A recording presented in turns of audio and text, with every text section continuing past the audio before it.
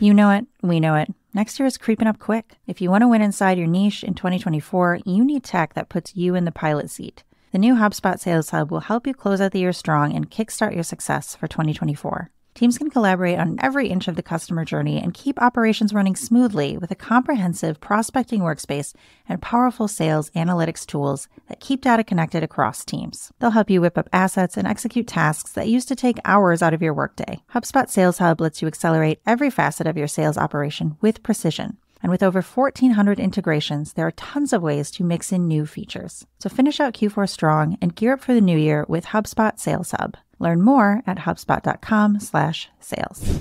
What's going on, everyone? It's Wednesday, December 21st. I'm Zachary Crockett here with Juliet Bennett Rylah, and you're listening to the Hustle Daily Show.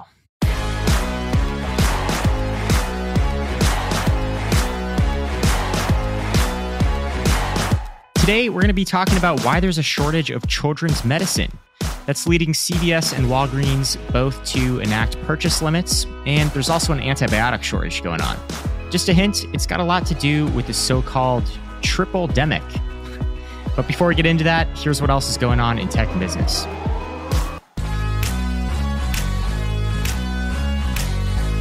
Elon Musk is reportedly looking for a new Twitter CEO, maybe, possibly, or who knows. Anyway, he ran a poll asking Twitter users if he should step down, and it kind of backfired on him. 57.5% of respondents voted yes. He seems to have blamed the results on bots, which, by the way, he also claimed that he had gotten rid of earlier this month. But many people also believe that that poll was just for show and he planned to step down anyway. DoNotPay CEO Joshua Browder said ChatGPT can renegotiate bills now. In a test, it lied to Comcast agents, but Browder thinks that they've refined it a bit to remain truthful while also being very aggressive and emotional. This year's World Cup final was the most watched ever for Fox with 16.8 million viewers. That's up a whopping 158% since 2018's game. Some deflating news at Party City the retailer is battling a helium shortage, and it's also looking at sinking stocks.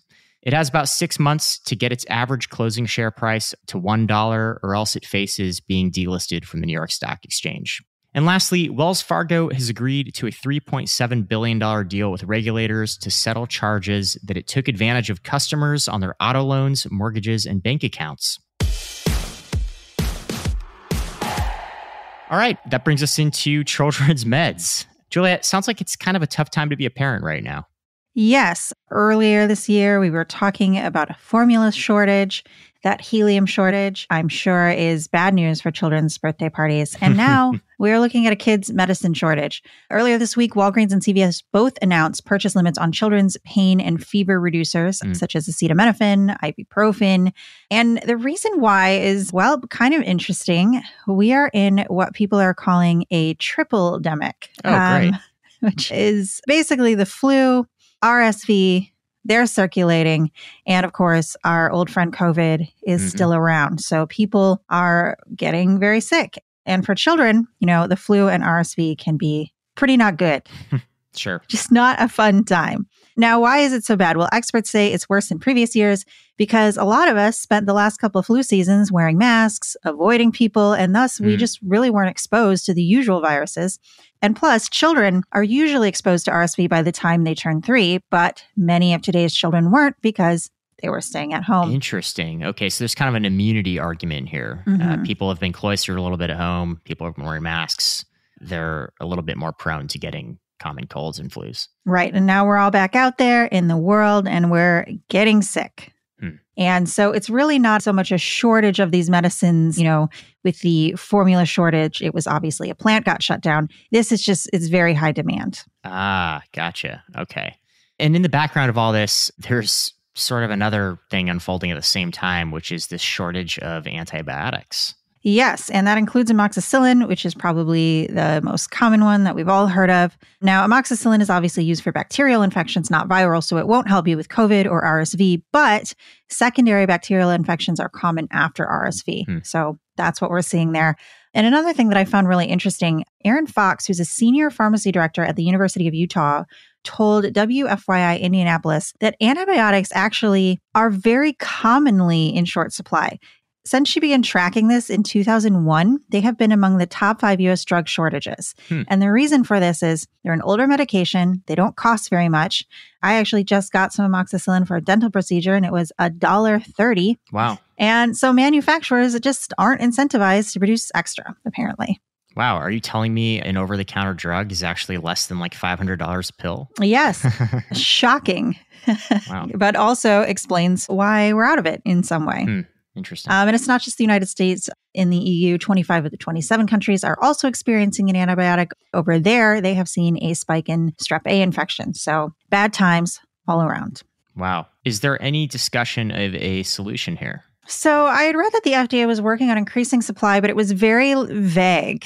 like the spokesperson was kind of like, yeah, we're working on it. but in the meantime, I did look for some advice. Um, I was like, what do pharmacists and doctors recommend if for some reason this happens to you or you have a kid who gets sick?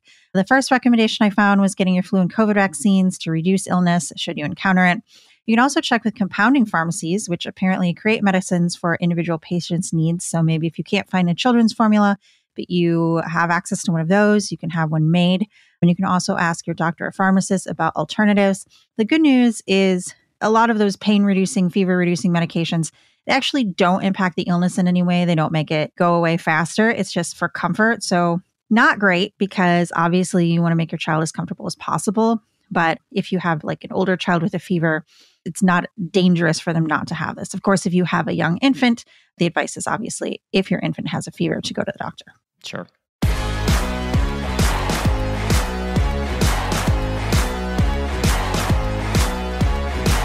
All right, that's going to do it for us today, everyone. Thanks for tuning into the Hustle Daily Show. Stay safe out there, especially if you got kids. We're a proud part of the HubSpot Podcast Network. Our editor today is Robert Hartwig, and our executive producer is Darren Clarke. We've got a lot more tech and business coverage for you in our newsletter. If you're not subscribed, go check out thehustle.co slash email. We'll catch you all tomorrow.